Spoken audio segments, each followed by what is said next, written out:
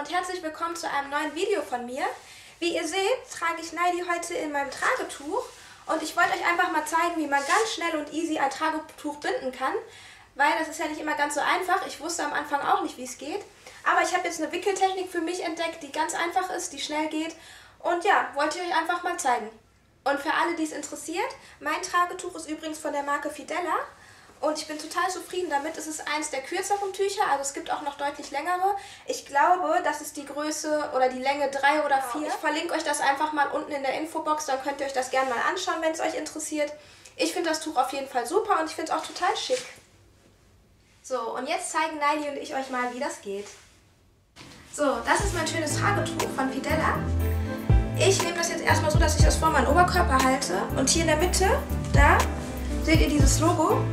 Daran orientiere ich mich, das nehme ich als Mittelpunkt und dieses Logo haben die meisten äh, Tücher an der Stelle, damit man weiß, wo die Mitte ist.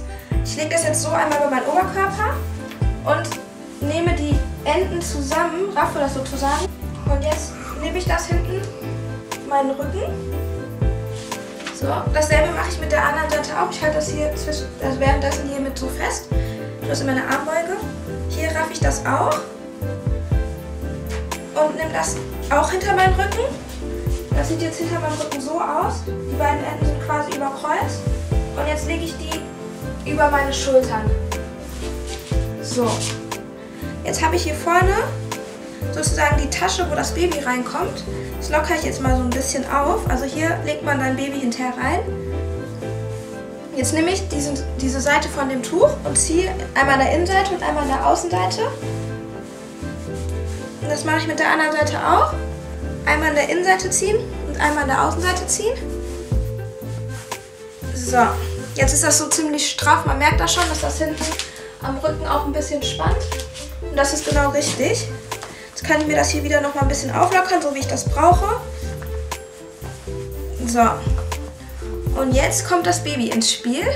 Also So, ich nehme sie jetzt so ziemlich weit unten, rase ich sie an den Beinen und tue die in das Tuch rein. So.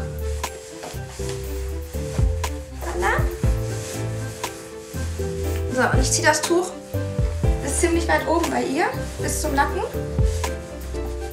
Ihre Füßchen hole ich jetzt hier unten raus. Eins. Und das zweite auch.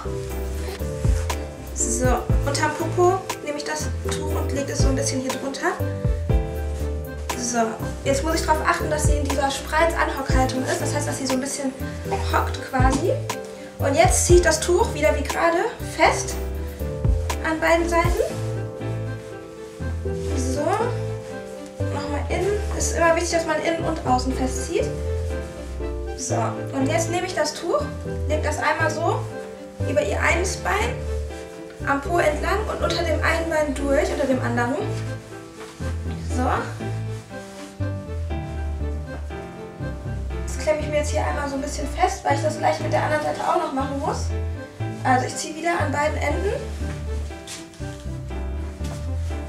So, bis das fest ist und straff.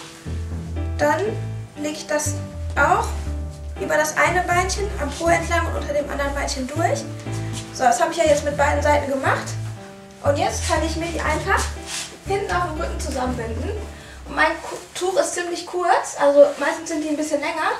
Aber ich finde das ganz gut, dass das so kurz ist, weil dann kann ich das nämlich hier binden, ohne dass auf beiden Seiten ganz lange Enden noch runterhängen. Dann ist das so ein bisschen kleiner, kaschierter.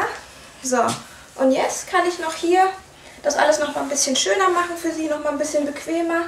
Und jetzt sitzt Nelly bei mir im Tragetuch.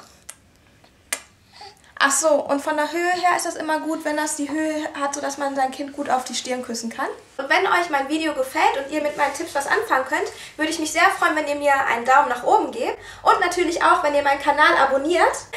Also, bis zum nächsten Video. Tschüss!